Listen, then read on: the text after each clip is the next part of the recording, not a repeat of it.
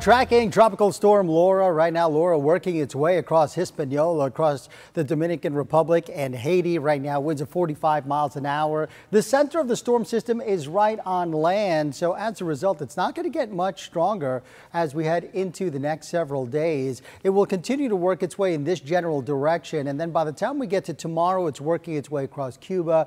Cuba, very mountainous. Tropical systems don't like these mountains. They do not allow the storm systems to get stronger. So as it's passing 300 miles to our south tomorrow afternoon, it'll have winds of 45 miles an hour. But after that, it will work its way into the Gulf of Mexico, becoming a category one, maybe even a category two before making landfall very early Thursday morning. Winds of 100 miles an hour, making landfall somewhere between Houston and New Orleans. Now, we're also tracking another tropical system. We have Tropical Storm Marco. You can see it right there. Notice the thunderstorms really blowing on up. This storm is expected to become a hurricane little bit later on today. And notice the clouds ahead of it working their way into the northern part of the state. Right now, winds of 70 miles an hour. Later this afternoon becomes a category one, winds of 75 miles an hour. And then by tomorrow afternoon, it's making landfall somewhere into coastal Louisiana with winds of 75 miles an hour. And this general area right here from Texas into Louisiana will be dealing with two hurricanes